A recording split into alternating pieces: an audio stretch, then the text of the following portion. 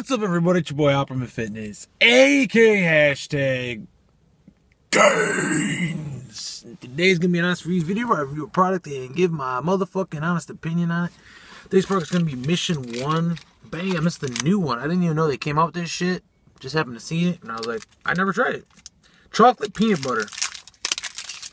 Pretty basic flavor. Hopefully, I didn't fuck it up. I got it for like $2 and some change. I think like 209 or something.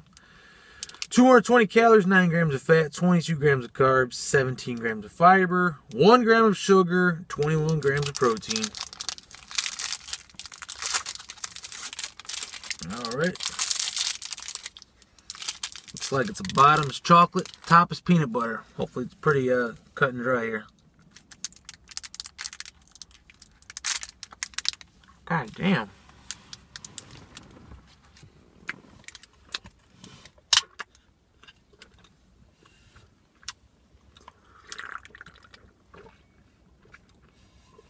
Mm.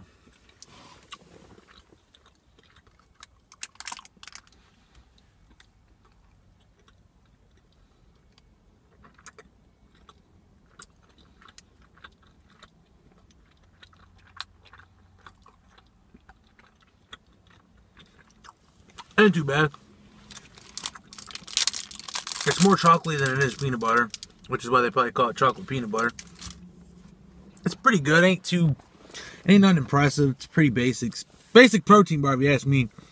I'm gonna give it a seven out of ten. I think it's pretty good. Ain't nothing impressive though. Seven out of ten. Tastes pretty good. It's chocolate. It's a little bit of peanut butter. Um, the bottom has actually a little like peanuts on top. Overall, it's pretty decent. 7 out of 10. That's be pretty much it.